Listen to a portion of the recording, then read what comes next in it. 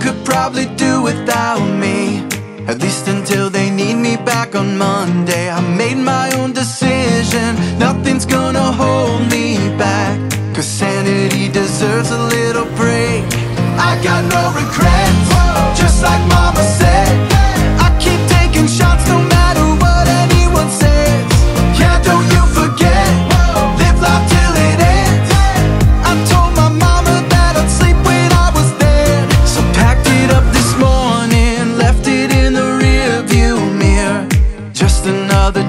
chasing life, but something here is